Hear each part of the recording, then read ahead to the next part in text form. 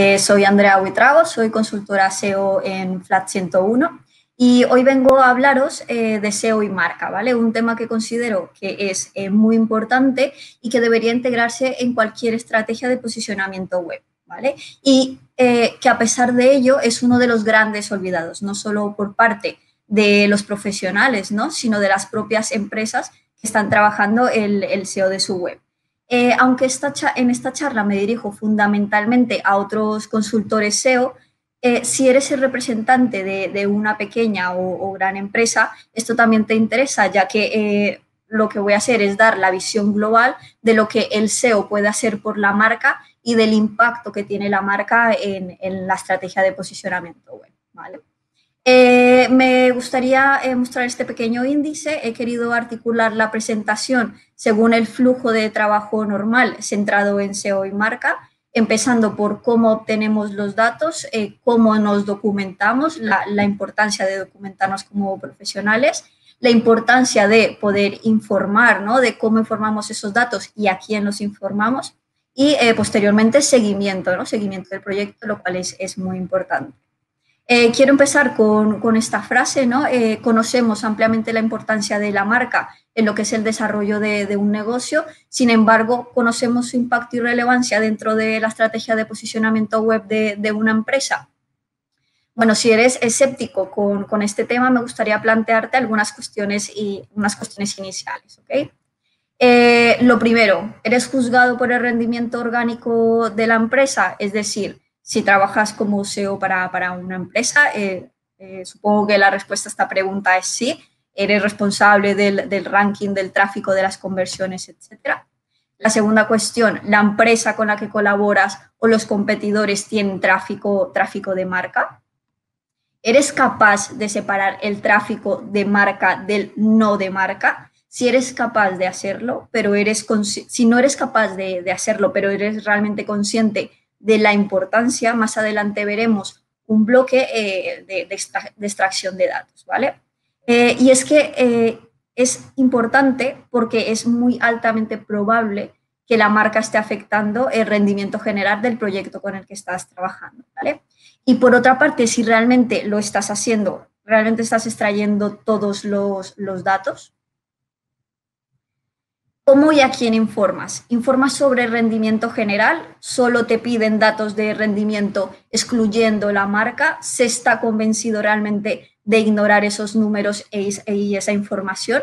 Y aún así, ¿a quién reportas? ¿Tiene conocimiento del impacto que la marca puede tener en el proyecto, en el rendimiento general del proyecto? Y además, ¿esta persona realmente es un interlocutor apto? Eh, la, última cuestión, ¿estás informando de cómo la marca impacta en el proyecto, por ejemplo, en tasa de clics o de los rankings?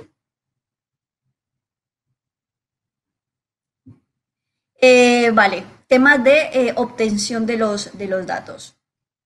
¿De dónde y cómo podemos extraer los datos necesarios? es fundamental poder separar el tráfico de marca y el tráfico sin marca. ¿Por qué? Bueno, eh, como SEOs es probable que te estén juzgando por la cantidad de sesiones de valor que puedas atraer al site a través del, del canal de tráfico orgánico. Si solo estás informando del total de sesiones orgánicas, en ese número irán incluidas las sesiones de personas que estén buscando X producto o servicio, pero es que también estarán incluidas las visitas de personas que hayan buscado la marca y que comprensiblemente hayan terminado aterrizando en el sitio web. Entonces, si más personas buscan la marca, obtendrás más tráfico. Esto es positivo para ti. Pero si menos personas buscan la marca, esto es igual de malo para, para ti. Por tanto, si nos centramos en el rendimiento orgánico en general, no tendremos realmente el control total sobre si los números disminuyen o aumentan. Y además no tendremos una buena explicación de por qué los números eh, suben o, o bajan. Y por tanto, tu desempeño como SEO y el de tu equipo en general se va a ver afectado por, la demanda de la marca y lo, hará de una forma que no podremos controlar. Y por tanto, en este sentido, deberías preocuparte por, la marca. Vale, pero ¿cómo, cómo puedo hacerlo? ¿no? Eh, por una parte, eh, tenemos la herramienta de Google Search Console, que como sabéis, os proporciona datos de clics y de queries. Y por una parte, podemos sacar también informes sobre esas eh, búsquedas de brand y de no brand. Por una parte, podemos extraer todas las palabras clave que incluyan el nombre de marca con errores ortográficos y demás. Y por otra parte, los términos con, con, todo lo demás. ¿no? ¿Esto para qué, para qué es interesante? aunque ya sabemos que en realidad el número de clics de Ser Console no coincide de forma exacta con el número de sesiones en, Google Analytics, podemos tener una idea aproximada de lo que puede estar pasando con esas métricas, ¿no? Y ver eh, cuántas, posibles sesiones eh, de marca y no marca estás obteniendo a, lo largo del tiempo. ¿Cómo podemos extraer estos datos? Bueno, tenemos varias opciones. Por una parte tenemos la extracción eh, manual y el procesamiento con diferentes herramientas como hojas de cálculo, Data Studio, etc. Por otra parte tenemos complementos para Google Sheets como Search Analytics for Sheets, también para extraer datos directamente a esta, herramienta. También podemos extraer los datos vía código y luego ponerlos, eh, volcarlos a, a BigQuery que es una cosa que muchas personas hacen. Y también podemos eh, utilizar expresiones regulares para la categorización de datos y evitar identificar de forma muy manual eh, faltas de ortografía, etc. Bueno, como os decía, estamos obteniendo todos los datos. Como sabéis, lo que estaba comentando antes, el problema, el problema del método de extracción con Google Search Console es que realmente no te proporciona todos los datos. Eh, con datos a nivel de query, perdemos parte de los datos debido en parte al muestreo y en parte para proteger la privacidad de, los usuarios en caso de búsquedas súper super específicas. Esto quizás si medimos uno o dos meses realmente no signifique una gran fluctuación, pero si hablamos de un periodo más grande de un año o dos años, por ejemplo, el interés de marca podría cambiar eh, muchísimo, ¿no? Y los datos eh, perdidos de Google Analytics versus Search Console podría suponer una gran diferencia en el número de sesiones eh, años, año tras año. Entonces, si no obtenemos todos los datos, seguimos estando en una, en una, posición muy comprometida en la que los cambios de interés de la marca pueden cambiar las cifras generales, de las que como SEOs somos responsables. Por tanto, si tenemos claro cómo medir ese tráfico de marca, entonces lo importante aquí es generar un segmento avanzado en Google Analytics para medir y, analizar esos datos.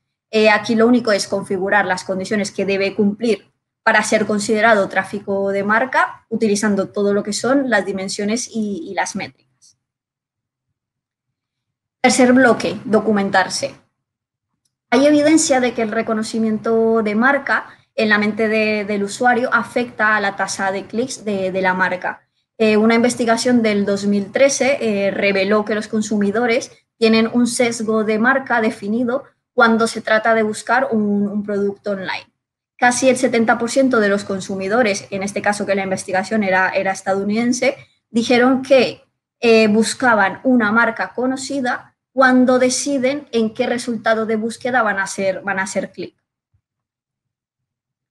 Entonces, si la gente es más propensa a hacer clic en resultados de búsqueda de marca que conoce, significa que podríamos terminar obteniendo menos tráfico para una posición, eh, una posición eh, generalista en una búsqueda que no sea de marca simplemente porque la gente realmente no nos, no nos conoce. Una posición que hemos luchado mucho además. Por otra parte, ¿las búsquedas de marca afectan a, las clasificaciones? Bueno, sabemos que el sistema de clasificación de Google se diseñó para buscar entre cientos de, miles de millones de páginas web el resultado más útil y relevante para la búsqueda de, un usuario. Como sabéis, este sistema se basa en varios algoritmos, los cuales tienen en cuenta bastantes eh, factores. Y uno de estos factores eh, muy relevantes es el grado de confianza de autoridad y de, especialización de, la fuente. En este sentido, sí que es eh, ampliamente conocido los, los enlaces, ¿no? Los enlaces como un factor importante para Google en términos de confianza. Entonces, si, pensamos en que los enlaces son un voto de confianza entre un administrador web y un sitio web, aquí básicamente lo que estamos hablando es de, construir marca, ¿no? Eh, ¿Qué es lo que está pasando y por qué es el problema clásico con los enlaces eh, y Google, ¿no? Porque realmente la gente lo que intenta es construir estos enlaces de manera artificial sin construir una marca por detrás, sin dar ese valor al usuario.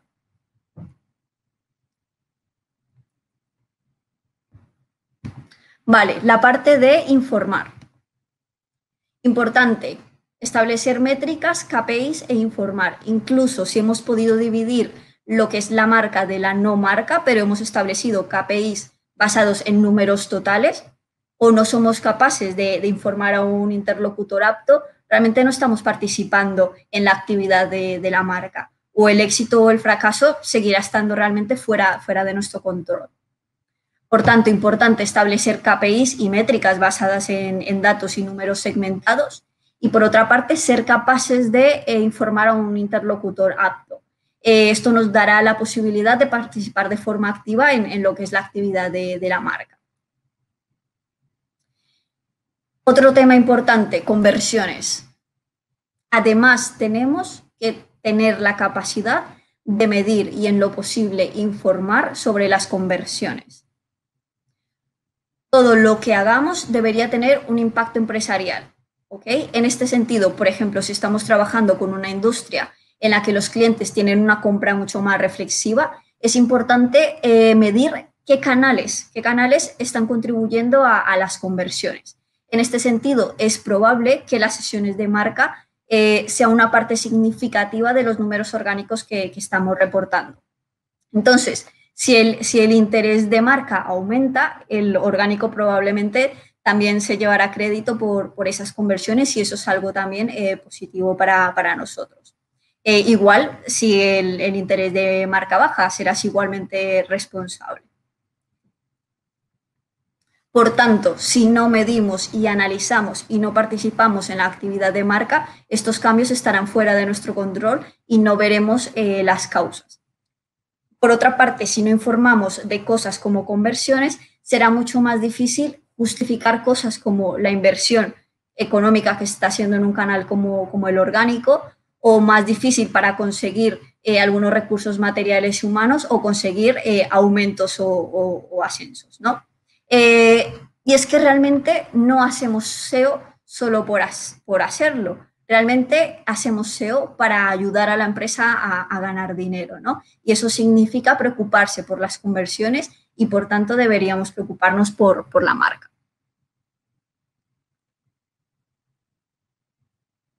Vale, ¿cómo hacemos el seguimiento, rendimiento, el seguimiento de rendimiento general de, de la marca? Vale, por una parte tenemos el análisis del tráfico directo, cuántas personas llegan al sitio web directamente a la página de inicio porque conocen nuestra marca y la ponen en la barra de direcciones del, navegador. Eh, total de búsquedas de marca en Google Search Console. Bueno, esto lo vimos al principio, aunque no todos los datos coincidan, sí que podemos hacer un seguimiento de las impresiones y ver tendencias de interés. Google Trends para ver tendencias de búsqueda de, Google. Esta información nos puede ayudar a ver qué está funcionando para nosotros y qué está funcionando para los competidores y de esta forma enfocar la, actividad de la marca. Por otra parte, tenemos también Google Ads, que podemos usarlo para ver, para ver ¿no? que si es más probable que los clientes busquen mi producto o el de los competidores y utilizar estos datos igual que, igual que, Google Trends, ¿no? Para orientar la actividad de, la marca. Y luego, por último, tenemos herramientas de terceros, eh, las cuales nos informan si hay alguna de las páginas en, el top 10 de resultados que mencionan, que mencionan nuestra marca. Vale, y algunas cuestiones finales para, ir terminando. ¿Por qué los SEOs somos las personas perfectas para involucrarse con, la marca? Vale, aunque es, aunque es cierto que dentro de un proyecto digital muchos equipos se ven afectados por el rendimiento de la marca, creo que es importante que los SEO se involucren en, la marca, no solo porque somos particularmente vulnerables a los cambios de, marca sin este seguimiento, sino porque usamos herramientas eh, y trabajamos con datos con regularidad que pueden ayudarnos a estimar eh, las búsquedas, la búsqueda de marca, porque además estamos acostumbrados ¿no? a la inversión a largo plazo eh, y la construcción y el esfuerzo y el refuerzo de marca lo es. Eh, no es como los canales de pago, ¿no? que se controlan y se piensa en ellos con, en términos de, de ROI inmediato. Además, porque con, datos, eh, con los datos que tenemos y mediante el research, podemos crear estrategias adaptadas para potenciar, para potenciar la marca. Vale, algunos resultados visuales de trabajar la marca. Bueno, como ya sabéis, Google cada vez se va volviendo más inteligente y con el tiempo va, va aprendiendo. Entonces, ejemplo de palabras polisémicas, por ejemplo. En este caso ponemos el ejemplo de una tienda de ropa eh, para mujeres eh, llamada Brownie. Eh, aquí el trabajo es realmente ayudar al buscador a entender quién eres, quién eres tú como marca y trabajar en esos procesos de, desambiguación, sobre todo en marcas pequeñas, ¿no? Es pensar cómo, cómo construyes eso, cómo aparece tu resultado primero y luego, por ejemplo, en este caso, el, resultado de comida. Otro ejemplo, eh, ejemplo de asociación de palabras clave genéricas de, negocio a tu marca o a tu producto. Al final, si veis, el propio Google te sugiere resultados y al final esto es lo que ayuda más en la parte de conversión final. Entonces es importante medir la contribución a la parte de, conversión, ¿no? Aquí vemos el ejemplo de Hotel Tribago, quien, quien no tiene ese anuncio en la cabeza eh, rondando la, ¿no? Vale, otro ejemplo de palabra polisémica más panel de, conocimiento, ¿no? Este es un ejemplo de, de Aegon, eh, una compañía de, seguros. Ya podéis imaginar el rendimiento de marca que hubo en, en la época de Juego de Tronos con Aegon Targaryen. Entonces, aquí además es muy interesante el display de contenido, que es un contenido básico, pero muy completo sobre la marca. Eh, es un tipo eh, de resultado con una posición privilegiada y con unas características tremendamente visuales. Y un último ejemplo, saturar resultados. Esto ya lo conocéis. Eh, vemos aquí un ejemplo de viajes corte inglés, que vemos el resultado enriquecido de, la compañía, más SEO local con todas las fichas de Google My Business y demás tema de redes sociales, aquí en este caso vemos la página de, Facebook, más un servicio complementario que es la agencia, más un producto complementario que son los libros de, viajes. Vale, importancia de la marca en época de crisis, eh, como la que estamos viviendo recientemente con, con la emergencia sanitaria por el COVID-19. Bueno, una imagen sólida de marca se traslada a los productos y servicios eh, que se comercializan. ¿okay? Eh, hay que pensar eh, en que estamos en un momento de mucha incertidumbre y los consumidores buscamos seguridad. Por otra parte, ser relevantes en momentos complicados, generar lazos emocionales positivos, es una oportunidad enorme para crear esa vinculación emocional fuerte con, nuestros consumidores. También importante, trabajar el branding puede tener un impacto considerable en lo que es la decisión de compra. Eh, los hábitos de consumo han cambiado, somos consumidores mucho más conscientes, mucho más críticos y más demandantes. Eh, trabajar en el branding, además, es fundamental en un momento en que potenciar tu producto o servicio de forma directa puede ser muy contraproducente. Pasamos a vender experiencias y emociones Aquí veis un ejemplo de, Iberia, ¿no? Todo solamente con ver eh, los tweets que tienen a esta publicación, vemos cómo ha impactado de forma negativa en, su marca, ¿no? Y es precisamente por esa, esa construcción y esa gestión del branding. Por otra parte, pero no menos importante, en las condiciones actuales en que anuncios pagados y publicidad en medios es cada vez más costoso, los presupuestos eh, son más reducidos y hay más presiones para justificar ese gasto y para alcanzar los objetivos de ventas, debemos potenciar eh, la marca, ¿no? Porque como hemos visto, eh, afecta al posicionamiento web, a los resultados generales y además contribuye a los procesos de conversión. Y algunas reflexiones finales. Importante preocuparnos por el rendimiento de la marca, el desarrollo de la marca debe pasar a ser una de las prioridades en la estrategia de posicionamiento web.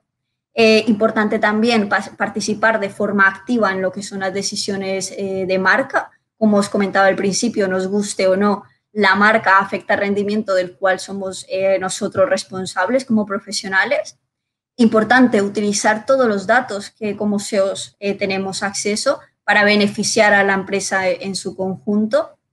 Eh, comprender la marca. Comprender la marca es parte de, nuestro trabajo y utilizar todos esos datos puede llegar a ser valioso para, para, todos. Y por último, si eres una empresa grande o pequeña, el desarrollo de marca será una tendencia durante todo el año 2020 y 2021. Ya no hablo solo de la estrategia de SEO, me refiero a la estrategia de empresa y de desarrollo de, de negocio, Tener búsquedas de marca en Google es una clarísima señal de autoridad y masiva relacionado a cierto producto o servicio. Y sin embargo, para que esto suceda es importantísimo eh, tener un buen producto, tener un buen servicio, tener básicamente una propuesta de valor eh, clara. Y básicamente eh, esto sería todo. Pues muchísimas gracias, Andrea. A mí me ha encantado. De nuevo he aprendido, he aprendido cosas contigo. Y me ha encantado eh, esa conexión que haces entre trabajar el SEO y la conversión y el CRO, porque no es traer tráfico por tráfico por tráfico, sino que me ha encantado la frase de hacemos SEO para hacer que las empresas ganen dinero. Eso es importantísimo, tener esa mentalidad y por lo tanto ahí la marca cobra mucha, cobra mucha relevancia. Me ha encantado, enhorabuena. Y nos van a poner ahora una pregunta Solamente nos da tiempo para una, ¿vale? El resto ya las, ya las contestaremos eh, a través de los posts o de las redes sociales. De Pilar Gil. ¿Cómo se puede conseguir posicionamiento cuando estás empezando y no eres conocido sin tener que pagar a Google? Claro, aquí era un poco lo que comentaba Pilar, gracias por, la pregunta. Eh, es importantísimo, eh, por una parte, a nivel de, empresa, centrarnos en lo que es la marca, ¿no? De dar a conocer la marca en medios que realmente no necesitan una inversión económica, pero sí necesitan una inversión de tiempo, redes sociales, publicitar en, tu propio blog, en blog, de, terceros, hacer relaciones de partnership, ¿no? Eh, luego también está, hay más estrategias ¿no? que realmente como compañía puedes hacer sin tener que pagar esas grandes inversiones eh, ¿no? a, Google, que al final, aunque tienen un retorno inmediato, a largo, a medio largo plazo, realmente eh, no te va a ayudar a, posicionarte, ¿no? Entonces, lo, que, lo que os digo, hay, hay muchísimas casuísticas eh, hay muchas posibilidades aquí, depende mucho de qué tipo de marca seas, de qué vendas, de cuál sea tu producto, de cuál sea tu servicio, pero eso, si tienes una propuesta de, valor clara, eh, adelante con ello por otros canales sin tener que pagar, se puede, se puede hacer, ¿no? Es, eh, creo que pagar es un complementario, ¿no? No sé si he, respondido la pregunta. Yo creo, lo tendrá que juzgar Pilar, pero yo creo que perfectamente. bueno, eh, escribiré sobre ello si, si, os apetece. Perfecto. Muy bien, pues muchísimas gracias, Andrea.